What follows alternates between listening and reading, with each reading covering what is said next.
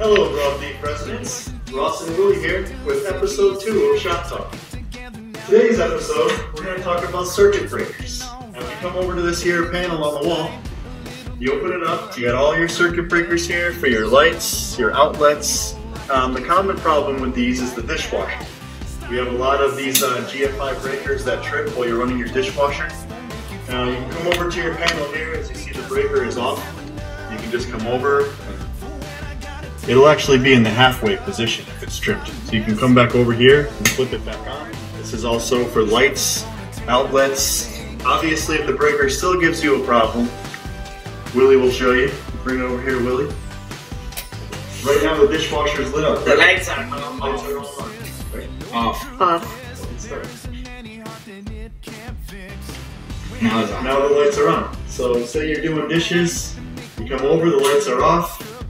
You come over, flip the breaker. But obviously, if it keeps happening, let us know. We'll come change the breaker for you.